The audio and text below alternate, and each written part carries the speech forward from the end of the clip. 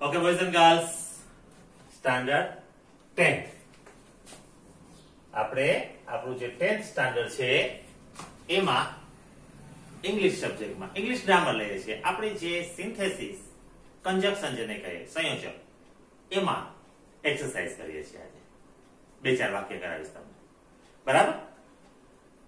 કાઉન્સમાં આપેલા શબ્દ વડે જોઈન ધ સેન્ટેન્સીસ વાક્યને જોડો. Using the correct conjunction conjunction યોગ્ય કન્જેક્શનનો ઉપયોગ કરો. From those given in the bracket કે જે કાઉન્સમાં આપેલા કંજક્શન યોગ્ય ઉપયોગ કરી અને ઉપર આપેલા બે વાક્યોને જોડીને એક વાક્ય બનાવો. પેલું છે go to the market get me some vegetables માર્કેટે જાઓ અને મારા માટે વેજીટેબલ શાકભાજી લઈ આવો. હવે તમારે કાઉન્સમાં આપ્યા છે સો ધેટ ઓર એલ્સ અને એન માર્કેટે જાઓ. ધેટ એટલે તેટલા માટે મારા માટે શાકભાજી લઈ આવો. તેવું સારું લાગે. માર્કેટે જાઓ અથવા મારા માટે શાકભાજી લઈ આવો તો સારું લાગે. પણ આ જે છે એન્ડ જોવો જોઈએ હવે એન્ડ ને તમે ત્યાં લગાડીને જુઓ. Go to the market and get me some vegetables માર્કેટે જાઓ અને મારા માટે થોડા શાકભાજી ખરીદી લાવો.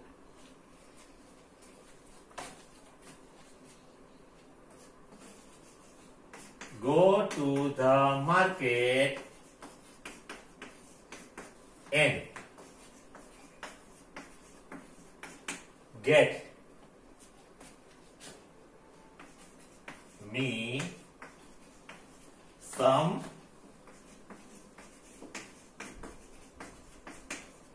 આ રીતે લખવાનો હોય છે આ આપણો જવાબ થયો. બરાબર? એટલે આખું લખવાનો ખાલી તમે એન્ડ લખી નાખો તો ના હાલે. પરીક્ષામાં સમય ઘટતો એટલે ખાલી એન્ડ લખી નાખો, તો એ નહીં ચાલે. બરાબર? તો ખાસ યાદ રાખજો. પછી બીજું વાક્ય છે, બરાબર જુઓ. જય ટાયર જય થાકી ગયો છે. હી ઇઝ વોકિંગ તે ચાલી રહ્યો છે. તો આ જો થાકી ગયો, તે બેસી જવો જોઈએ આ તો ચાલી રહ્યો છે. એટલે વિપરીત પરિસ્થિતિ કહેવાય. વિરોધાભાસ કહેવાય. થાકી ગયો છે, છતાંય ચાલી રહ્યો છે. તો સો ધેટ એટલે તેટલા થાકી ગયો છે, તેટલા માટે ચાલી રહ્યો છે? યોગ્ય નથી. યેટ એટલે છતાંય. અને ઓર એલ્સ થાકી ગયો છે અથવા ચાલી રહ્યો છે. એમ, એવું કોઈ વાક્ય ન બને. એટલે યેટ એટલે છતાંય. તો એ વધારે આપણે suitable Jay is tired yet he is walking. બરાબર? ત્રીજું વાક્ય છે.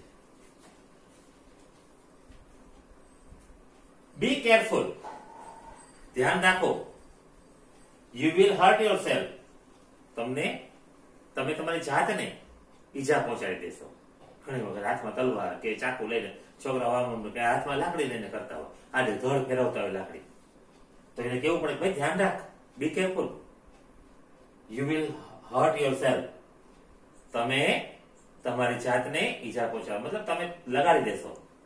સો ધેટ ધ્યાન રાખો, તેટલા માટે તમે લગાડી દેશો. ધ્યાન રાખો ને તેટલા માટે તો હોય જ ને.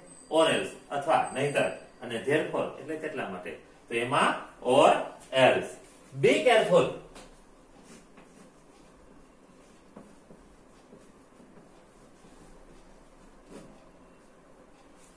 or else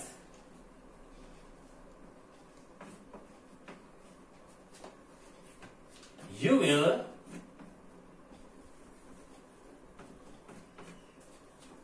hurt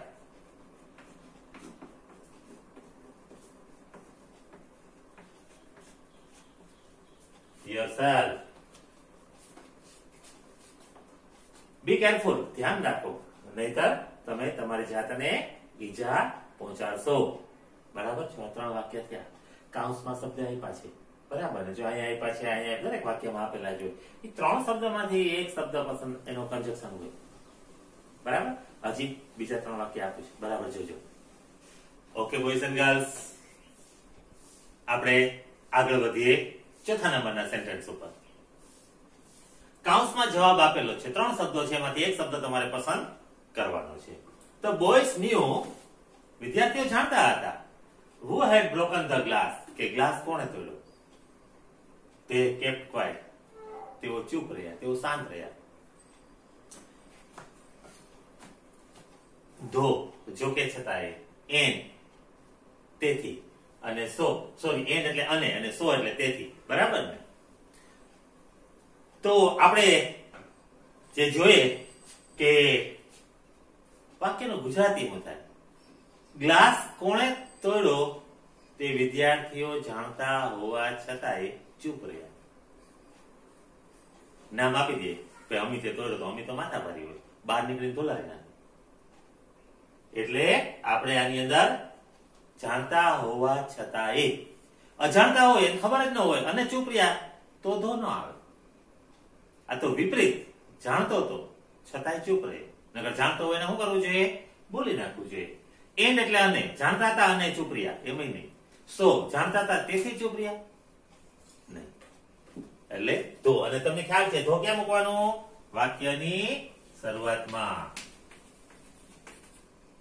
Those boys knew any W વુહાઈ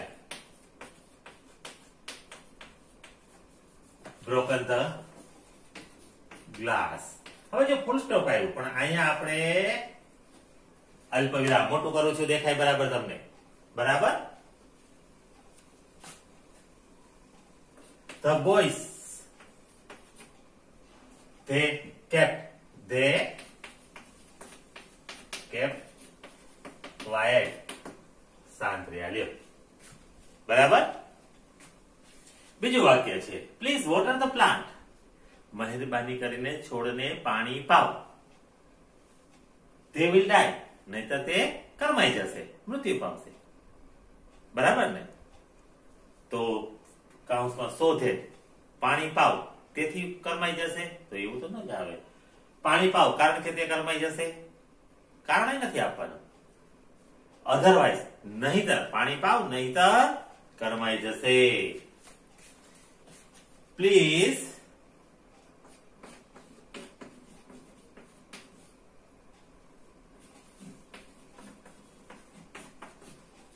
water the plants asso double હા પ્લાન્ટ્સ એટલે ઘણા બધા પ્લાન્ટ્સ અધરવાઇઝ they will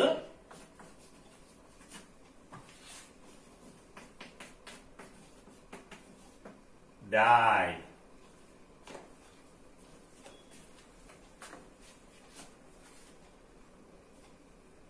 ત્રીજું વાક્ય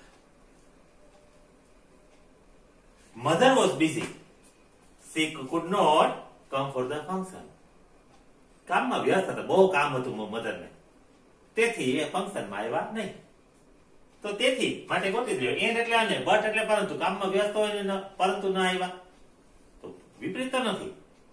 સો એટલે તેથી ના આવ્યા. Mother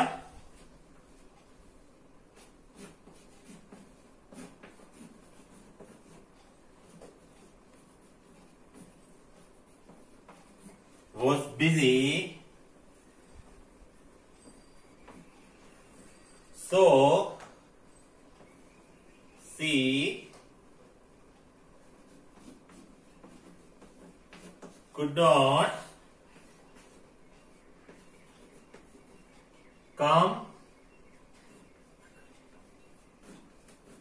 for the function.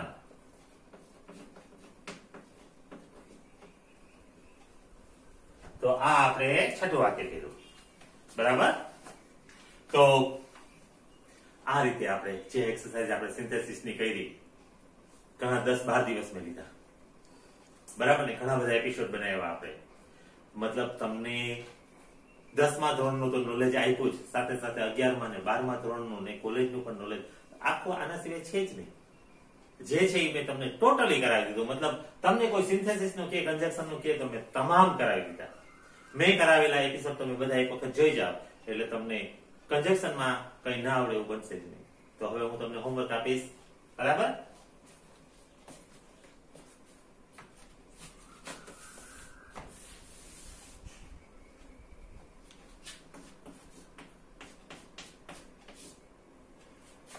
Homework હવે તમારા સ્ક્રીન ઉપર જે આવે વાક્યો, એમાં મેં કરાવેલા વાક્યો આવશે. બરાબર? એ વાક્યો તમારે હોમવર્કમાં કરીને મોકલવાના છે.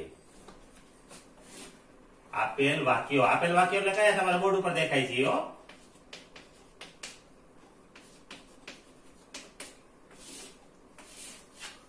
બરાબર? હવે તમારા બોર્ડ ઉપર આ વાક્ય આવશે. તો okay boys and girls Have a good day.